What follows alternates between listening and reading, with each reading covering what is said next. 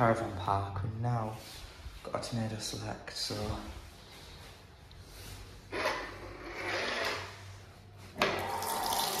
See how this turns out to be. Could be quite loud.